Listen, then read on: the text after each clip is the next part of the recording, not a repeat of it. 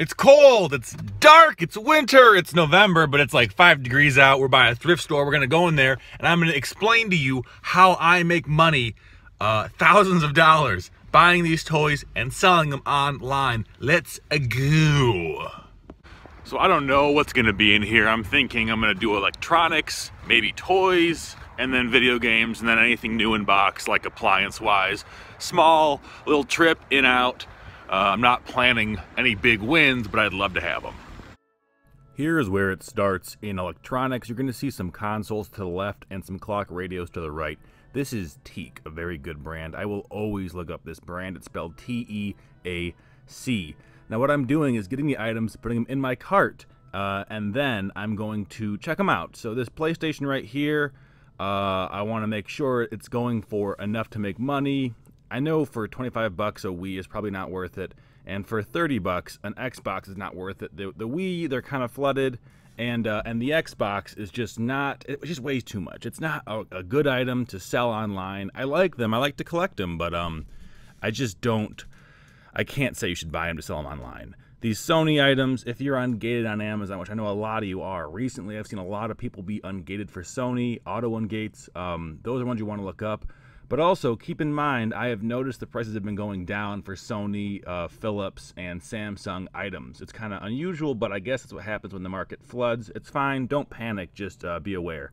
If you don't know what gating is, or auto ungating, or any of that stuff, I have a video I posted a few days ago. Watch that. Basically, long story short, it is permission you need to sell certain brands or categories on Amazon.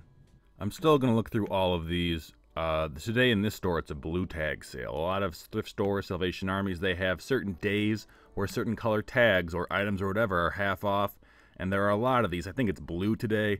Uh, ooh, you see that HDMI recorder, the, the DVD recorder down there? I put that back because it was broken. A lot of times, if things are broken, those get put back. And so if you see a lot of DVD recorders or high value items that are on the correct tag for that day, meaning they've sat on the shelves for a long time, and it seems kind of fishy to you or suspicious, uh, that's why they could be broken. What I do is I just test to make sure they power on, uh, or I put a DVD or a VCR, or sorry, a VHS in there. For this, for the PlayStation, I'm gonna put it back. Uh, I can't test it, and I've been having issues with my PlayStation 2s I've been selling. The laser eye has not been working, so I'm gonna put that back and go over to clocks. These clocks are actually a, a hidden gem. You're not gonna see a lot of people talking about these because they're not as uh, exciting items. You know, they're not selling for $2,000 but a lot of these clocks sell for between like 35 and 60 bucks. This calculator here, always a good pickup. I'm buying those for under two bucks no matter what. They're not going to make you a lot of money, but they're going to sell fast, and sales velocity is good. This is a not new in box, but original packaging Guitar Hero guitar. It's for Wii. Those sell the worst, so even though it's only like six bucks, you're to see in a second, I'm still not buying it because it's only to go for like $35, and they're so big and bulky, it just isn't worth it. Now, if that was an Xbox One or an Xbox or whatever, a PS2 or whatever it is guitar, I would have bought it then. Uh, PlayStation's going back on the shelf. I can't test it. It's just not really worth it. These clocks, though, are pretty good. This is a daylight clock, so what it does is uh, when the alarm goes off, it brightens the room with, uh, you know, full full spectrum wavelengths, supposedly, and they go for about 70 bucks. That's the real thing for it. This small little Philips clock it's so light. Anything that tiny always gets my attention, and anything with a big screen like this. The digits are going to display very, very big. It's, it's a, you know, it's what is that, like 8 inches across and an inch and a half up. So if you have bad vision, you want to buy that clock. This Beatles mug, that's a gift.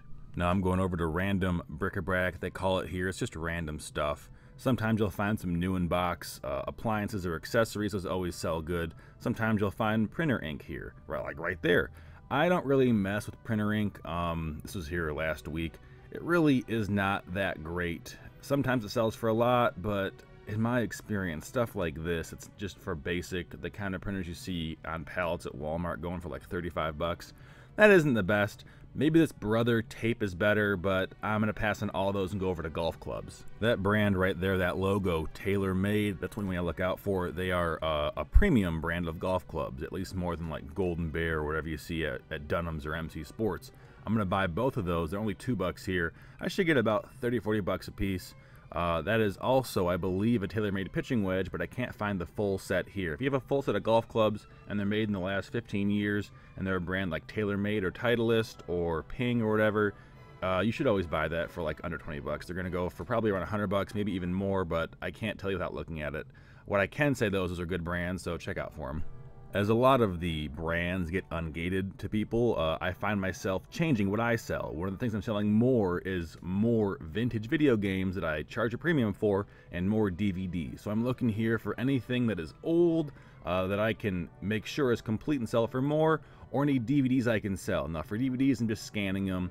Uh, what I look for is box sets, documentaries, anime, the kind of stuff that is not very popular, but popular enough to have its own website or sub-community or culture, whatever you want to call it. This NFL Blitz uh, video game, just a personal buy, nothing special. And then this iZone Polaroid camera, I bought one new actually, like two weeks ago.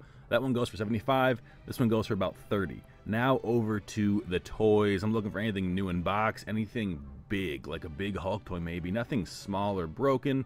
The issue with toys is oftentimes they have a lot of parts and you can you can't sell them incomplete on Amazon. It just doesn't work that way. You can do it on eBay, but the way I sell things, only complete. That B Hoofer, uh, I can't sell anymore. I could sell a year ago, but I can't anymore. Sometimes even experienced, advanced, seasoned veterans like myself uh, get kicked out of brands. It's totally normal. It sucks, but it's normal. Don't panic about it.